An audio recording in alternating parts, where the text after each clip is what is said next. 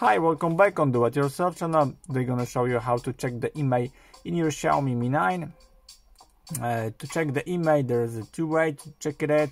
Uh, just go to the phone and write this code. And you have your IMEI 1, IMEI 2, mate, number. And the second way to check it, mm, just go to your setting here, go down and now service. No.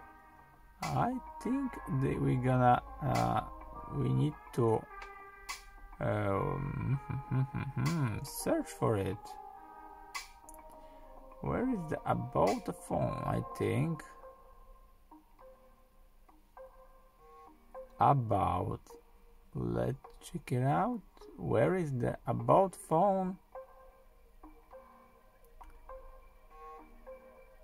here but maybe on the up upside. Yeah the about phone is on the on the up of this list. So now we need to uh, search for maybe not.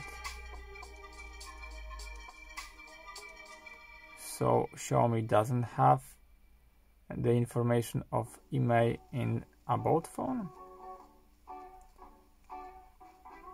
Yes. Yeah, we have here IMEI 1 and IMEI 2 slot. That's it. I hope the video is helpful for you. If yes, you can leave like, leave comment and leave subscribe and see you by next video. Hey!